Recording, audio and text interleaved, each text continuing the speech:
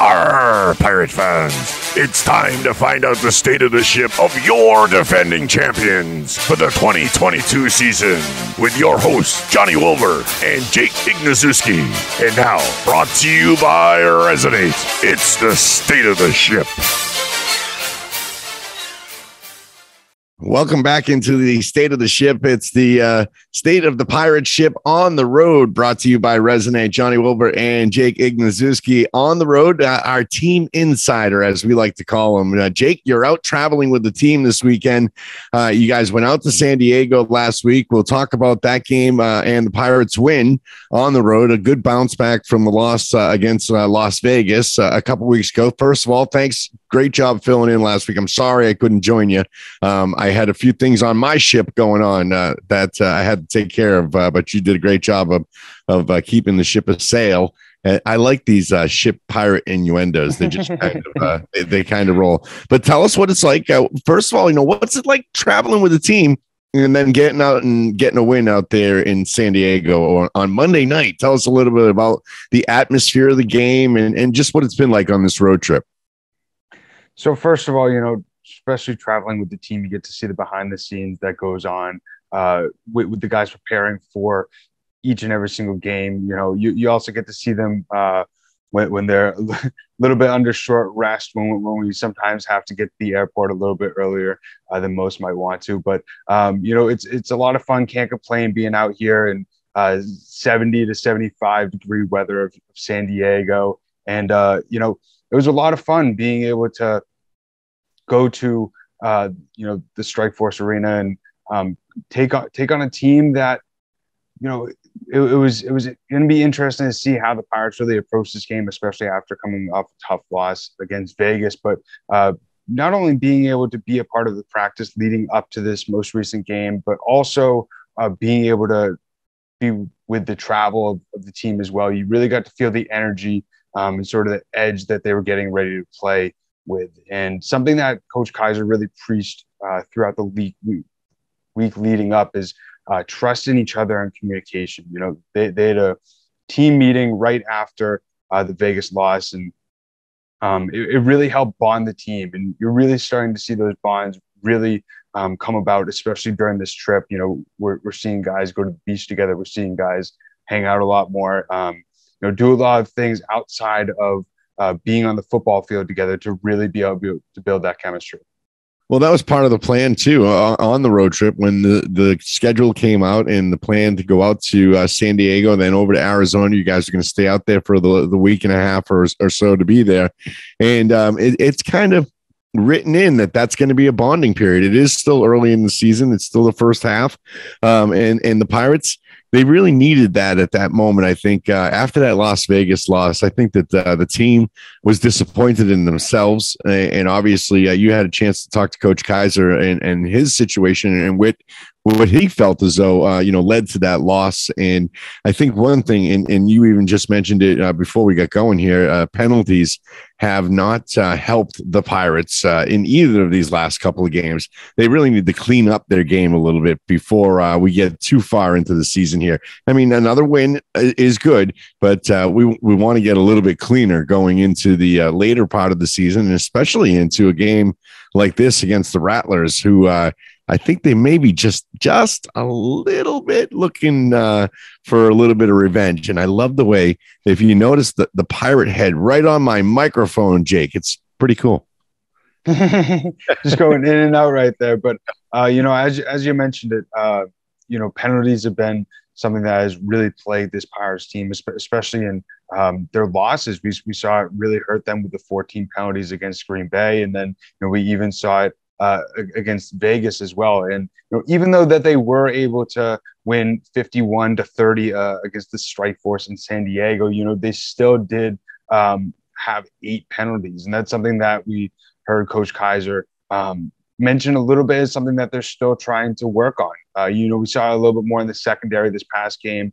Um, and then also against Vegas, we mainly saw it uh, in the defensive line jumping off sides and that sort of stuff. But um, Coach Kaiser mentioned, you know, he's he's not he's not um, getting off of that message of trust and communication, but now he's preaching um, everybody do their one eight. You know, he he sort of mentioned, you know, offense has to take care of the football. Don't give this team any turnovers. Defense needs to make sure that they're making those tackles. Uh, we need to make sure we're also challenging these receivers. Um, and if we do all those things and everybody takes care of their one eighth, um, and we uh, make the plays when we had the opportunity to, he said we should be fine in this game. So um, not being able to you know have those penalties really deter the team from either stopping the offense when it's going down the field or um, you know blow up a drive when when the Pirates offense is going down the field uh, be very critical against the Rattlers. Bennifield finished 11 of 15 for 101 yards and three touchdowns and uh, one interception against uh, San Diego. Isaac Zico again in on the uh, in on the the you know real good touchdown action. Thomas Owens stepping up, getting another pair of uh, touchdown receptions. That you know we missed that in the Vegas game because Thomas I think To only had maybe one, um, one or two receptions in that Vegas game, and his big presence uh, was tough. Good to see him coming back and, and getting a couple uh, there. And the Pirates, um, you know, it took a little while to get. Do you do you think it was you know jet lag? What, what was the um, hesitation on the field to get going uh, with you know a pretty tight score at the half?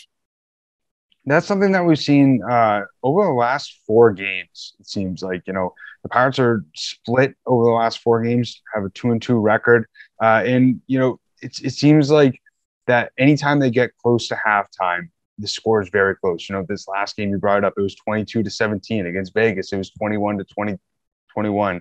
And, uh, you know, I, I think I wouldn't really uh, put it on jet lag because the team did get uh, to San Diego on Saturday and uh, you know, they did have those two days to be able to acclimate to the time change. And um, you could also mention that the Monday game could play a factor into it, but it did also give them more time to prepare. Uh, and, you know, I, I think the big thing was get, getting the offense rolling. You, you know, we, we saw saw the offense uh, be a little, little sluggish, it seemed like in the first half, and then really start to ramp up um, what once, you know, the Dro and you know, the receivers really started building up that chemistry and um, you know, being able to drive down the field very easily. But you know, we saw a guy like uh, Dedrick Thomas, uh, the guy who filled, filled in a running back for the Pirates, really came up big in the first half, scoring two rushing touchdowns, finished with 61 total yards, over eight rushing attempts, and he's somebody who, um, you know, when they really needed him to get those uh, critical yards, especially in the red zone, he found those holes very easily. Yeah, it's nice to see uh, Dedrick uh, really getting uh, some some action and carrying the ball and, and really being able to move it and getting some you know some spark out of that running back position and a couple touchdowns and, and starting to really you know use the entire field and and, and all of our weapons. Uh, that really uh, is important. It's gonna. What was the energy like uh, in the building on a Monday night? You could see on TV and at the watch party that there there wasn't many people there out in San Diego. I mean, did, do you think that had an effect on on the way the game started?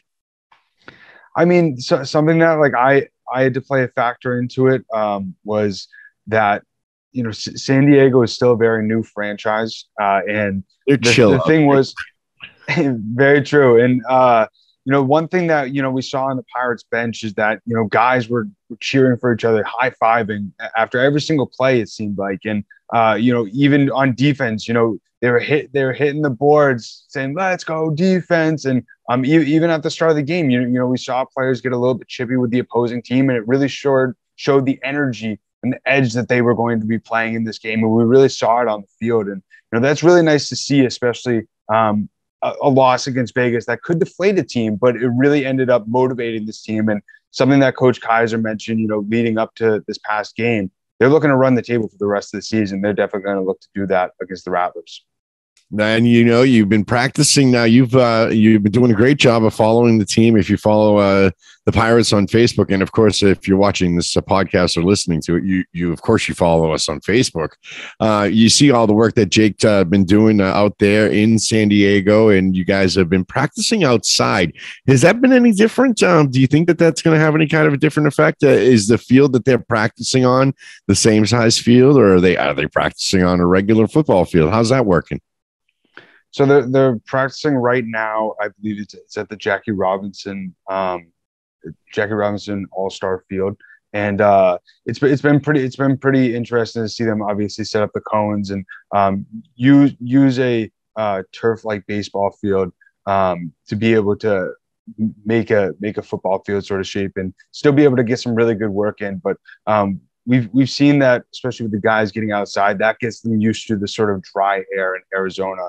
Um, but e- even though you know they're practicing outside among the palm trees and everything like that, it's it, you're still starting to feel the energy and the edge that they're ready to play against Arizona. And you know, it, everything that I've heard from the players, they're looking at this as the rematch of the United and whoever wins this game is going to win that. And so that's sort of the mindset that they're going into it, and, and they're not allowing sort of any of the excitement or any of the pressure from this game really uh, deter them. And, you know, everybody's focused on just blocking that out and getting the win. Well, and jumping forward to this game, I mean, it's it's a big one, and the Rattlers are playing very well, and they are, you know, uh, playing with a chip on their shoulder after last season, of course. You know, first in the league in, in offense right now with an average of 55.1 points per game, and they're averaging a 256 yards per game, which leads the IFL, and second in defense. I mean, this this is the team to beat. I mean, we're right there, right behind them.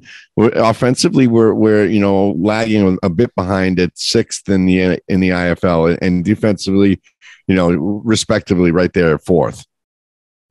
Yeah, it's it's going to be a it's going to be a very tight game, a very very highly contested game. But uh, we've we've seen the defense start to come into their own over the past few games. Um, we, we saw them really limit the um, strike force last game, especially in the second half. And uh, you know, e- even though you know the Rattlers defense is very highly ranked, as you mentioned, second in the league, I, I feel like with not only how fluent uh, the passing game has been for the Pirates this season. But now that we're starting to see the running game really start to find their stride, uh, I think that this is going to be a very close back and forth matchup. Uh, and you know, especially with with the excitement of the crowd uh, for this game, I think that's definitely going to play a factor. Uh, but you know, what's nice is that even though the Pirates have uh, less than half of the team returning from last season, you know, you still have some of those leaders in like Aaron Maxi Penn, uh, Alejandro Bennifield, Thomas Owens, Khalid Wooten, uh, th- those guys who are going to be those leaders to help the younger guys who haven't really experienced anything like this uh, get acclimated to this different sort of atmosphere. The IFL MVP uh, Alejandro Bennifield will be uh, stepping on the uh, on the field for quarterback uh, uh, to quarterback his team uh, coming up here against the Rattlers. He'll remember what it was like to win the IFL there in Arizona. And I got to tell you, Jake, I, I, don't know if you've seen the footage of last year's uh, game in the IFL. I understand it was the you know Super Bowl or the IFL, uh, you know the United Bowl of of the IFL. Um, but uh, you know that place was packed.